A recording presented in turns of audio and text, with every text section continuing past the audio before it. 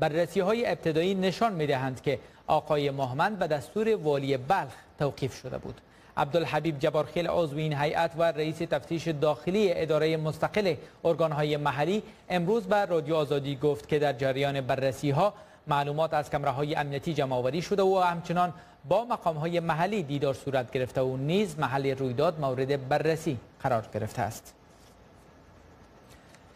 طرز عکس العمل و برخورد حکومت با اعتراف نجات افغانستان و شخص جنرال دوستم را چگونه ارزیابی می کنید تبصره هایتان را همین لحظه در صفحه فیسبوک دری صدای امریکا با ما شریک سازید. همکارم لحظات بعد